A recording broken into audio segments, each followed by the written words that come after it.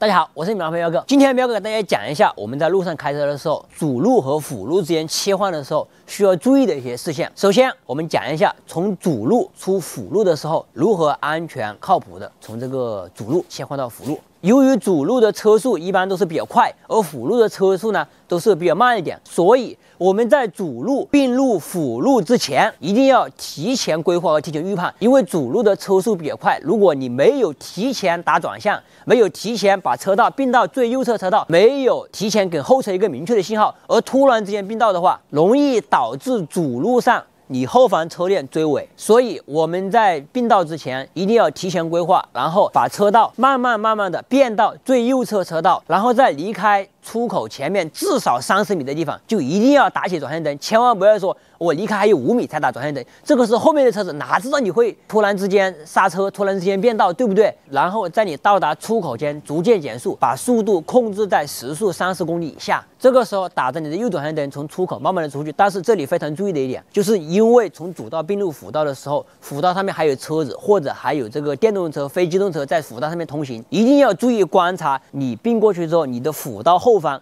有没有车子或者电动车过来，因为这个时候你是并道过去。所以你的路权是低于他们直行的路权的，千万不要跟他们发生碰撞。一旦发生碰撞、发生刮擦，一定是你的主责。所以一定要找准没有车的空档，小心翼翼、干净利索的并入辅道，千万不要磨磨蹭蹭，因为出事故往往就是这一下磨磨蹭蹭。第二种情况呢，就是我们从辅道并入主道的时候该怎么做？因为辅道它的车速比较慢，而主道它的车速比较快。所以我们在辅道并入主道的时候，首先我们要提前打起我们的左转向灯，然后走到岔道口的时候，注意观察你的左后方主道的来车，找准来车少的时候，及时的并入主道。如果主道上面车流量比较大，车子比较多的时候，我们可以把速度放慢，在这个缓冲车道里面先行走一一小段，然后再打着你的左转向灯，逐渐的并入主道去。因为这个时候主道上面直行的车子，它的路权是大于你。并道的车子如果发生刮擦的话，那也是你的主责。同时，我们在并入主道之后，千万不要磨磨蹭蹭、慢慢吞吞的在上面走。你并入主道之后，只要你前方没车，你一定要及时把速度提起来，把你的速度提到跟主道上面车子一个速度，这样的话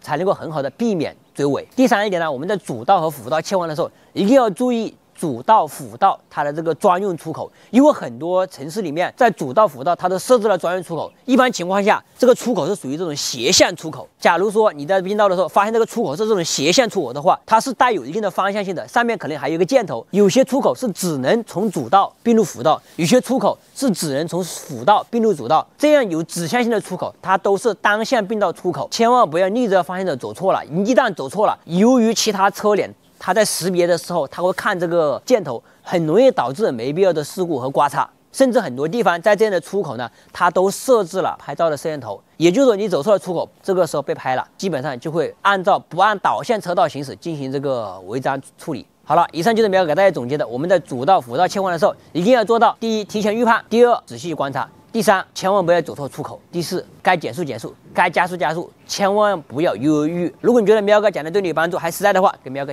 点个赞，给个关注，好不好？谢谢大家。